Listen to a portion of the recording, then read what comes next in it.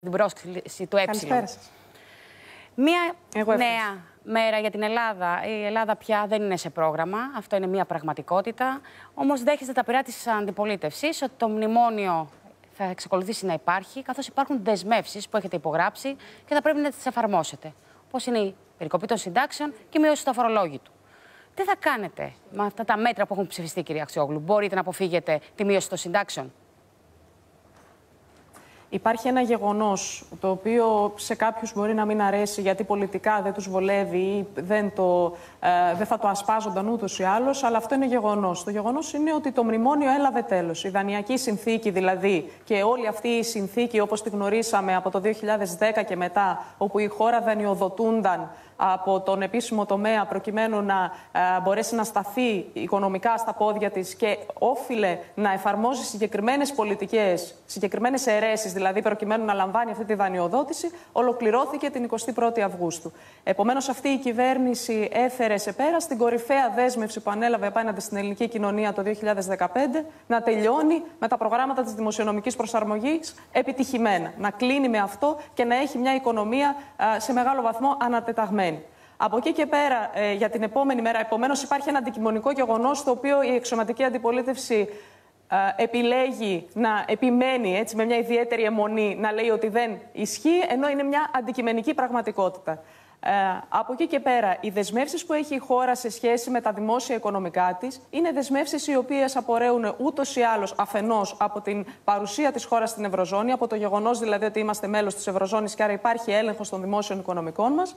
Αφετέρου, υπάρχει από, το μετα, από την μεταμνημονιακή εποπτεία, η οποία έχει ακολουθηθεί και σε όλες τις άλλες ευρωπαϊκές χώρες οι οποίες εξήλθαν των μνημονίων. Δεν έχει καμία διαφορά σε σχέση με αυτό. Η μόνη διαφορά ενδεχομένως να είναι ότι ε, εμάς ε, ο έλεγχο έλεγχος από τους ε, θεσμούς θα γίνεται κάθε τρίμηνο και όχι κάθε εξάμηνο όπως στην Πορτογαλία. Αλλά είναι μόνο μέχρι εκεί. Επομένως, δεν υπάρχει τίποτα το διαφορετικό σε σχέση με το τι ισχύει στις υπόλοιπες ευρωπαϊκές χώρες που εξήλθαν των μνημονίων. Ε, η θα μπορέσει η κυβέρνηση έχει να, αποδείξει... πετύχει, να πετύχει την, την μη μείωση των συντάξεων; Θα σας πω για το μέτρο αυτό. Ε, είναι γνωστοί οι συσχετισμοί και ο τρόπος με τους οποίους, οποίους έγινε η δεύτερη αξιολόγηση. Η αιμονή του Διεθνούς Νομισματικού Ταμείου σε μια λογική που έλεγε ότι η ε, χώρα δεν θα μπορεί να επιτύχει τους δημοσιονομικούς της στόχους, αφενός, αφετέρου σε σχέση με το ασφαλιστικό σύστημα ότι ε, η περαιτέρω μείωση της συνταξιοδοτικής δαπάνης είναι αναγκαία προκειμένου να στέκεται το ασφαλιστικό σύστημα στα πόδια του. Η ελληνική κυβέρνηση είχε και τότε υποστηρίξει με πολύ καλά στοιχεία, τα οποία επιβεβαιώνονται πια διαρκώς, ότι και τους δημοσιονομικούς στόχους μπορούμε να επιτύχουμε, αλλά και ότι το ασφαλιστικό σύστημα διαρθρωτικά πια στέκεται στα πόδια του και έχει μακροπρόθεσμη βιωσιμότητα. Αυτό αποδεικνύεται πια και από όλες τις εκθέσεις οι οποίες κυρώνονται και από τους ευρωπαϊκούς θεσμούς. Άρα, για ακόμη μια φορά, από τη δικιά μας πλευρά, αυτό που επισημαίνουμε είναι πως ούτε διαρθρωτικά ούτε δημοσιονομικά είναι αναγκαίο το μέτρο της απομείωσης της προσωπικής διαφοράς. Για όσους συνταξιούχους αυτό αφορά. Αυτή τη στιγμή η σειρά των πραγμάτων είναι ότι έχουμε κάποιους ε, δύο μήνες μπροστά μας προκειμένου να ε, δούμε και να επιβεβαιώσουμε την καλή πορεία των δημόσιων οικονομικών μας, να σχεδιάσουμε τον προπολογισμό του 2019.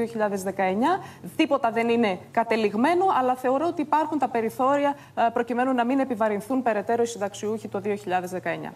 Αυτό που λέγεται και κυρίως από την πλευρά και της αντιπολίτευσης είναι ότι αρχίζει η κυβέρνηση μια παροχολογία εν ώψη και της ομιλίας του Πρωθυπουργού στη Διεθνή Έκθεση Θεσσαλονίκης. Εκεί, ίσως ο Πρωθυπουργός μας μιλήσει για αύξηση του κατώτατου μισθού. Θα σας ρωτήσω και θέλω την απάντησή σας.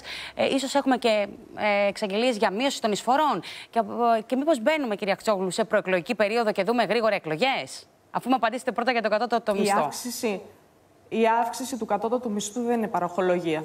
Η αύξηση του κατώτατου μισθού είναι αναγκαία συνθήκη προκειμένου να αρχίσει να βελτιώνεται το εισόδημα, το διαθέσιμο εισόδημα των εργαζομένων και είναι και κορυφαία δέσμευση της ελληνικής κυβέρνησης απέναντι ε, στον, ε, στη μεγάλη κοινωνική πλειοψηφία και στη μισθωτή εργασία. Ο κατώτατος μισθός περικόπηκε το 2012 από τις τότε κυβερνήσεις κατά 22% και κατά 32% για τους νέους εν μία νυχτή. Επομένως, διαμορφώθηκε, αυτή, ε, διαμορφώθηκε μια συνθήκη συμπίεσης των εισοδημάτων για τους εργαζόμενους συνολικά, διότι αυτό το μέτρο συνδυάστηκε με, την, ε, με το πάγωμα των συλλογικών συμβάσεων εργασίας την ίδια περίοδο και αυτό οδήγησε σε μια πολύ μεγάλη συμπίεση των εισοδημάτων των εργαζομένων. Η δικιά μας δέσμευση, και δεν έχει καμία σχέση με παραχολογία αυτό, αλίμονο εάν η αύξηση του κατώτατου μισθού εκλαμβάνεται ως παραχολογία, είναι, είναι, είναι ε, πέσχυντο και ως σχόλιο αυτό Η αύξηση του κατώτατου μισθού είναι μια αναγκαία συνθήκη προκειμένου να αρχίσει να διευρύνεται το διαθέσιμο εισόδημα των εργαζομένων, της μισθωτής εργασίας.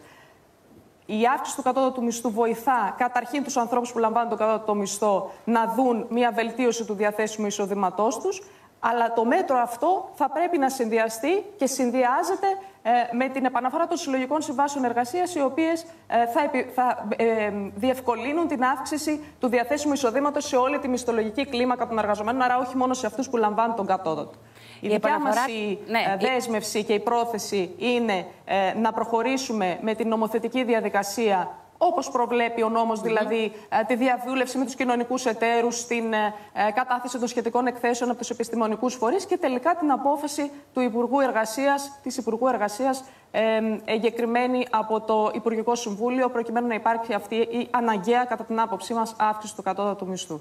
Ε, σε ε, σύντομο χρονικό διάστημα. Δηλαδή, οι διαδικασίες να ξεκινήσουν σχετικά Αυτό θα άμεσα. άμεσα. Ε, σε ό,τι αφορά τις συλλογικές συμβάσεις εργασίας, ε, ο ρόλος του κράτους έχει σε μεγάλο βαθμό επιτευχθεί. Δηλαδή, από τη δική μας πλευρά, νομοθετήσαμε το, την αναστολή του παγώματος, δηλαδή ότι πλέον ξεπαγώνουν οι συλλογικές συμβάσεις εργασίας Είμαστε στην επόμενη μέρα και αυτή τη στιγμή εξετάζουμε εντός του Υπουργείου Εργασίας τις ήδη υπάρχουσες κλαδικές συλλογικές συμβάσεις, προκειμένου να δούμε αν πληρούν τους όρους για να αρχίσουν αυτές να επεκτείνονται και να καθίστανται γενικώς υποχρεωτικές στου κλάδους. Το, το ουσιώδης είναι ότι αυτό θα διευκολύνει να υπάρχει μια, μια ε, συνολική άνοδος ε, του διαθέσιμου εισοδήματος των μισθών σε κλαδικό επίπεδο. Γιατί είναι γνωστό ότι σε κλαδικό επίπεδο οι συλλογικές συμβάσεις που συνάπτονται ε, διασφαλίζουν καλύτερους μισθούς και όρους εργασίας από ό,τι σε ατομικό επίπεδο.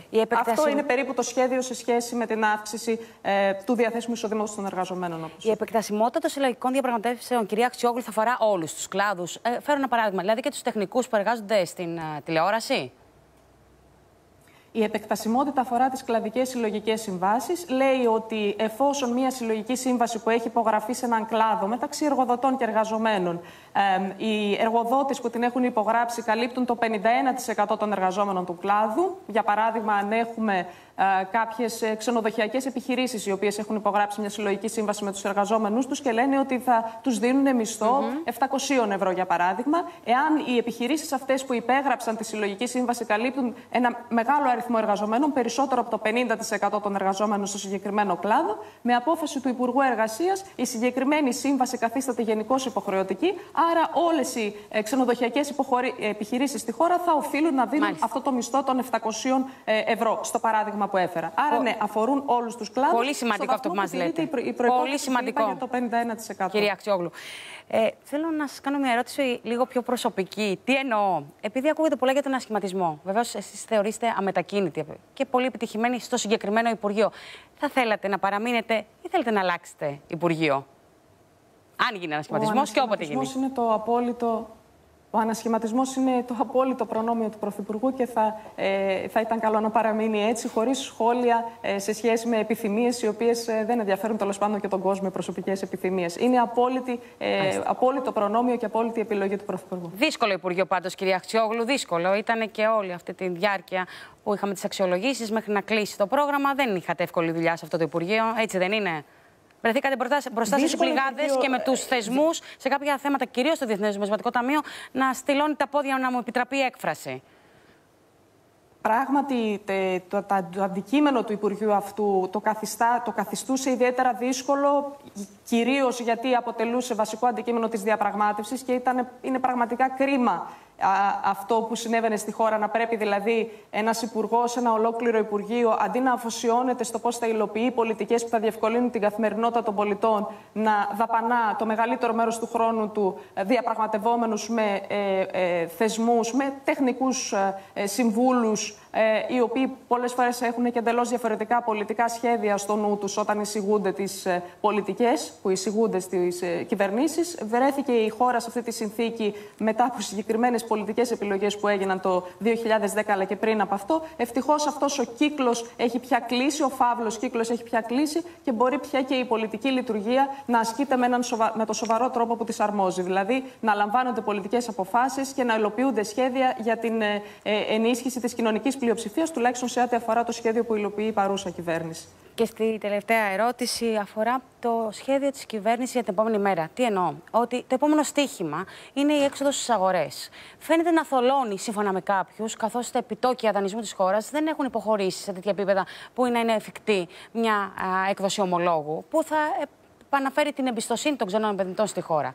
Θεωρείτε ότι ε, θα πρέπει η Ελλάδα, ε, βεβαίως αυτό είναι δουλειά του, θα μου πείτε, του Υπουργείου Οικονομικών και του ΟΔΙΧ, αλλά θεωρείτε ότι ε, θα πρέπει η Ελλάδα κάποια στιγμή να κάνει το μεγάλο βήμα, να βγει στις αγορές και θα έχει την εμπιστοσύνη των ξένων, ή ότι είμαστε μακριά από αυτό, γιατί ε, έχουμε βρεθεί σε ένα timing, σε μια συγκυρία δύσκολη, περίεργη στην Ευρώπη, Ιταλία, Τουρκία, και έτσι ε, πάει λίγο πίσω όλη αυτή η προσπάθεια ε, να βγούμε στις αγορές μετά από τόσα χρόνια μόνοι μας και να αναχρηματοδοτούμε τις ανάγκες μας; Θα μου επιτρέψετε να πω ότι το, ε, να διαφωνήσω ότι αυτό είναι το βασικό στίχημα αυτή τη στιγμή. Νομίζω ότι αφού κλείσαμε την βασική μας δέσμευση για την ολοκλήρωση των μνημονίων και η δουλειά συνεχίζεται, το βασικό στίχημα είναι να μπορέσουμε ε, να βελτιώσουμε την, ε, ε την καθημερινότητα, ε, να γίνει βίωμα η ανάταξη της οικονομίας στις ζωές των ανθρώπων, των Ελλήνων πολιτών και των Ελληνίδων. Άρα αυτό είναι το βασικό μας μέλημα αυτή τη στιγμή. Πώς θα επικεντρωθούμε ώστε να περάσει αυτή η ε, πολιτική έτσι, επιτυχία της ολοκλήρωσης του προγράμματος και η οικονομική στην καθημερινότητα των ανθρώπων και να μην υπάρχει μια, ένα, ένα χάσμα ανάμεσα στους δείκτες τους οικονομικούς και στην καθημερινότητα των πολιτών. Άρα για μας το, το βασικό στοίχημα, η βασική επικέντρωση είναι εκεί. Σε ό,τι αφορά τώρα τις αγορές, να υπενθυμίσω ότι ε, αφενός έχουν γίνει δοκιμαστικές έξοδοι στις αγορές το προηγούμενο διάστημα που ήταν πολύ επιτυχημένες. Αφετέρου, τα, οι αποδόσεις των ελληνικών ομολόγων κινούνται αυτή τη στιγμή στα επίπεδα που ήταν το 2006. Άρα είμαστε σε ένα εξαιρετικά καλό σημείο. Δεν συμφωνώ δηλαδή ότι ε, δεν είναι καλές οι αποδόσεις των ελληνικών ομολόγων. Τα δεδομένα είναι τα δεδομένα του 2006. Άρα έχουμε ξεφύγει εντελώς από αυτό που συνέβη την περίοδο της κρίσης. Είναι άλλο ζήτημα αυτό και άλλο αν η χώρα έχει αυτή τη στιγμή ανάγκη να βγει στις αγορές. Η χώρα με βάση το μαξιλάρι που έχει διαμορφωθεί το, ε, το δημοσιονομικό, έτσι, έχει διαμορφωθεί ένα μαξιλάρι τέτοιο μετά και από την τελευταία κρίσιμη απόφαση του Eurogroup, η οποία της δίνει μια απόλυτη ε, ε, αυτάρκεια δημοσιονομική για περισσότερα από δύο χρόνια. Άρα αυτή τη στιγμή δεν εκτιμάται ως αναγκαίο να γίνει έξοδος στις αγορές. Όχι ότι δεν θα γίνει, αλλά δεν, δεν, δεν είναι αναγκαίο. Είναι εντελώς διακριτό λοιπόν το να μην θεωρεί ε, η ελληνική κυβέρνηση και το Υπουργείο Οικονομικών ότι υπάρχει αναγκαιότητα εξόδου στις αγορές και εντελώς διαφορετικό να ε, εξάγει από αυτό κανείς ένα συμπέρασμα ότι δεν μπορούμε. Δεν ισχύει αυτό. Οι αποδόσεις των ελληνικών ομολόγων, όπως είπα, είναι ε, στα επίπεδα που ήταν το 2006. Απλώς δεν υπάρχει αυτή τη στιγμή αναγκαιότητα για κάτι τέτοιο. Κυρία Αξιόγλου, να σας ευχαριστώ πολύ για αυτή τη συνέντευξη. Σας ευχαριστώ. Εγώ σας ευχαριστώ. Να είστε καλά. Και τώρα θα πάμε στο αστυνομικό ρεπορτάζ. Θα καλέσω εδώ τον Θεοδόση Πάνου για να μας δώσει όλες τις τελευταίες εξέλιξεις. Αστυνομικές ειδήσεις. Έχουμε ρεπορτάζ πάντα αστυνομικό πλούσιο. Έχουμε πάντα ρεπορτάζ.